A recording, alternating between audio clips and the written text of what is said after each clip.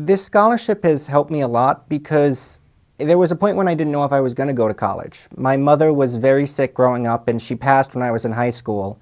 And between the loss of income and the medical bills, it seemed for a long time that I wasn't going to be able to go anywhere.